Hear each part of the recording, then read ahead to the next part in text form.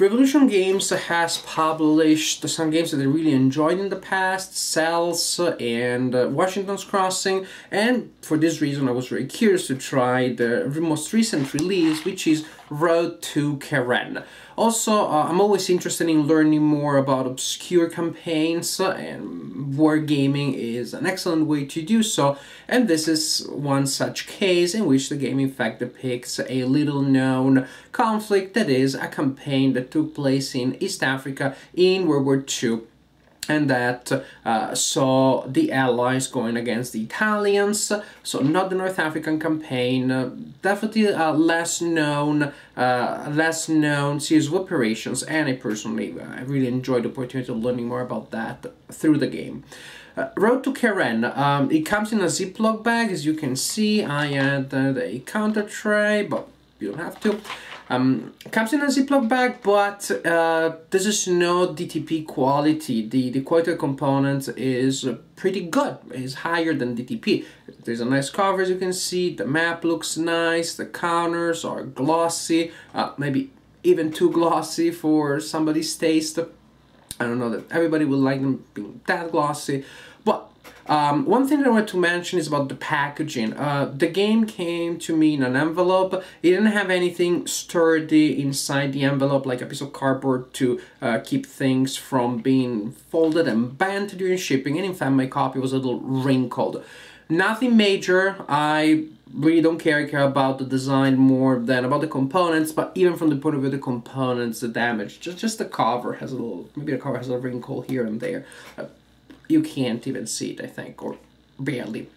Uh, I mentioned this to say that if that happens to you, uh, I've seen that some people have talked about that online and the publisher said that they are perfectly willing to send replacement copies. So if that happens to you, to your copy after you order it, and the copy arrives to you not in as good a condition as you would like it to be, then no, no need to get your underwear twisted, just contact the publisher to send a new copy so you will have a beautiful copy and, uh, and a spare copy, which I think is pretty good actually. You get two for one. In any case, uh, now let me show you how the game plays. This is the map of the game. It is printed on paper. Here I place it under a piece of plexiglass. It is very simple, nice. No numbers in the hexes, which is unusual. Makes things I don't know, makes things look a little strange. But setup eh, is still clear because there are some indications, some specific numbers in hexes where you need to set up um, things, set up units. In any case, the map is not too big but it looks nice. And everything is here. Here you have the combat table, terrain chart, turn track. Each box is used twice. Everything really very, very economic here. Uh, but I like that. It feels, uh, I don't know, it's very tight visually. Okay, um, here you have the setup of the game with Italian units scattered on the board, ready to defend, and with a large number of Allied units ready to enter from Kassala. This is why there is already a control marker there. The Allied player places control markers each time that he takes control of a city on the board and uh, actually this is very important because at the end of the game a victory is assessed by uh, depending on control of cities on the map. Um, each turn, the active player will go through a full sequence of events, then the game goes to the opponent, who goes to the same player's turn, and then you move to the next turn. First thing that the player does is to uh, receive reinforcements if reinforcements are to be received that turn and in some turns the, the allied player will also receive replacements. Then you get to move your units and movement is pretty traditional. Units have a movement value printed at the bottom right corner of the counter. By the way, these counters are very, very glossy, very glossy. Mm, sturdy, not super thick, but thick enough. I like them. Make his units move up to their full movement allowance. Um, different types of terrain will have different costs. You need to look at the uh, at the uh, terrain table there. And uh, several things apply. One is stacking. Units have a stacking value of 1 uh, unless differently specified. Some units have a higher value and you cannot exceed the stacking limit otherwise you will lose units.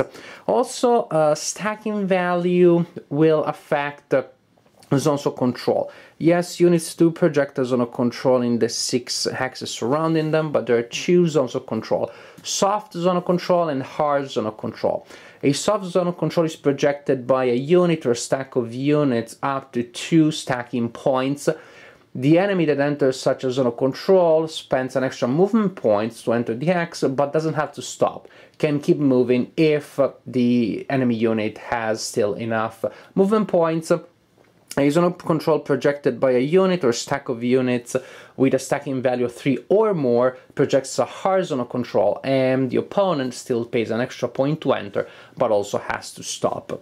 After the active player has executed movement with any and all of his units, the uh, opponent, the non-active player, gets to move some of his units in the enemy reaction phase. So the non-active player becomes the active player for a little bit, and the non-active player can move up to three stacking points of his units. Then you have combat. Combat is resolved in a pretty traditional way, no huge surprises there just a couple of twists, but nothing major. What happens here is that you total the combat factor of the attacker, and the combat factor is the number printed at the bottom left corner of the counters. You total all of the uh, combat factors of the attacker. Uh, you find the ratio between that and the combat factor of the defender or defenders. You find the correct column and column shifts may apply on this table. The terrain in which the defender is defending, for example, may give column shifts. Also, some units qualify as support units, for example, artillery or tanks, and you total the number of points that uh, support units contribute to an attack. The player with the highest amount of support points in an attack gets a column shift to his advantage. So you may not have the highest total in the combat, but you may still get a column shift in your advantage because you have better supports than the opponent. You find the correct column, you roll 1d6, you cross-reference and you find the result, which may be a numerical result, and that is the number of step losses that the corresponding side has to take. You may receive an R, you may receive an R, and that means mandatory retreat, mandatory retreat, or you may have both a letter and an R, that means step losses and retreat.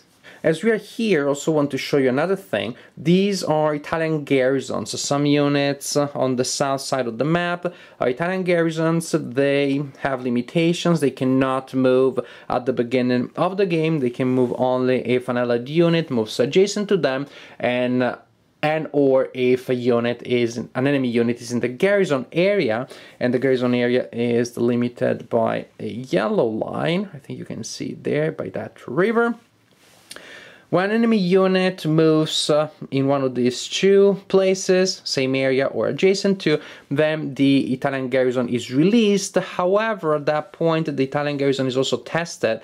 Um, you roll a die, and depending on the result, the garrison may remain Italian, that means with the green stripe up, or it may defect and it may become an allied unit. In that case, you show the red, the red band there and now it is the ally player that can control that unit. Either way the unit is released and can now move normally. After the combat phase you have the supply check. Units need to demonstrate that they are in supply otherwise they will suffer adverse results and the uh, supply line will be modified depending on the terrain in which it is traced. You need to trace a supply line to a road or track that then goes to a supply source, or you need to trace directly to a supply source. But the line that you are tracing to the road or track or the supply source may be of three hexes only if you are uh, tracing it through clear hexes and no zone of control, two hexes if you're tracing in an enemy zone of control or through hills, and one hex if you're tracing through enemy zones of control and hills. and if a unit is out of supply, the first time that that happens, the unit is in low supply, uh, which will give you some penalties, but much more severe are the penalties that come from being in no supply, which is what happens to a low supply unit that is still not supplied at the next supply check. And those penalties are much worse. For example, uh, tanks and mechanized units cannot move at all, lose their zone of control, they cannot attack, pretty bad stuff. After supply for the active player has been checked, the active player can use his exploitation phase, that's the last phase of his turn, and during that phase, some of his units that specifically qualify for exploitation movement can move again Uh, which can be a good way to position units, try to cut enemy supplies and things like that. One thing I didn't mention yet, but that is pretty important is action chits. Each player has a pool of action chits that the player can use during the game. At the beginning of the game, you draw four these chits that form your starting hand. Also, four is the maximum number of chits that you can have. These chits can have different effects depending on the effect described on the chit itself. After you get your initial chits, both the Allied and Italian chits go together in the same randomizer cup. That means that then later during the game, you may draw chits belonging to the opponent that are useless to you, but you also get to eliminate them. Also, some chits may become useless during the game because the situation in which they can be useful does not apply anymore, but you're not allowed to discard them. So they just stay in your hand and they just limit the amount of useful chits that you can have. And some of those chits have very powerful effects, and especially if you can combine them in powerful combos then fun stuff, pretty spectacular stuff can happen. So a player goes through all of the turn phases that I described before, then the opponent does the same, and you continue like this until the end of the last turn when, as I said earlier, victory is assessed by uh, counting victory points that are based on control of towns on the map. I must say that recently uh, I'm really getting to appreciate small, tight, clean designs. I recently played Hell's Gate, maybe three point games, and and I had that experience, small, nice, clean, elegant uh, design, and I have the same impression uh, from Road to Cheren. I had the same feeling as I was playing it. I always enjoyed light wargaming as a quick way to get introduced to a certain historical topic, as something you can squeeze in between larger games. Uh, Um, in any case, something you can get started, you can teach to people without having uh, to work too much on, on, on the training session. And, and I have to say that Road to Cheren has all of these advantages. It has, uh, it is easy to teach and easy to play. The rules are pretty straightforward. The turn sequence still has a couple of interesting twists here and there to keep things from being just basic standard move attack. That's it. You have uh, the reaction phase, which of course keeps the other side interested too, uh, because the other side will have a limited possibility, limited opportunity to react to what you're doing, but trying to um, to disrupt your plans for the attack, trying to threaten your your supply lines, things like that. Those are all things that can happen there. Uh, of course, even the player that is reacting has to make a choice because only some units can activate there. Exploitation movement has a similar as a similar uh, fact as a similar uh, impact on the game. The terrain is challenging, and Italians, the Italians in particular, really have to take advantage of terrain, really have to take advantage of those mountains. Um, I, I, found that the Italians need to use a little bit of a guerrilla technique. Uh, retreat, um, regroup, hide in the mountains, threaten supply lines, uh, and because otherwise uh, the wave of allied units is pretty, is pretty tough to to stop for the Italians if they decide to go uh, to, to attack or to defend frontally against the opponent.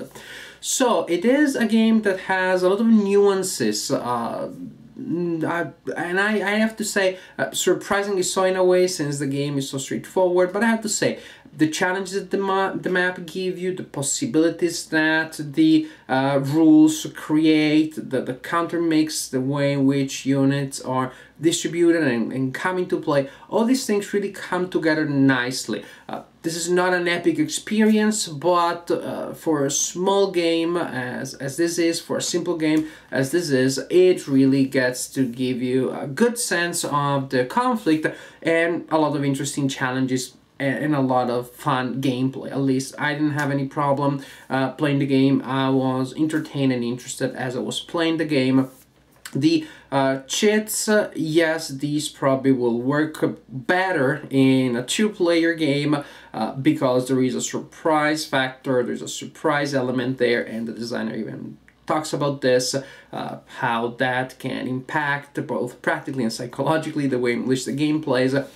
Uh, in solitaire game, however, or in, in solitaire play, I didn't encounter too much of a problem either, even knowing more or less what the opponent had in what the other side had in the in their hand wasn't too much of a problem. Just playing with the with the chits face up and using them when it made sense and still playing both sides at the best of my possibilities, I was perfectly able to solo the game and to enjoy both learning about the topic and the mechanics and the execution of the game as I was playing it and as it allowed me to approach the topic. So, uh, light game, fun game, uh, it looks good, it looks good, especially if you consider uh, that this uh, is a game that can be acquired for a relatively low price. So, Road to Cheren, to me, another good title in the catalog of Revolution games.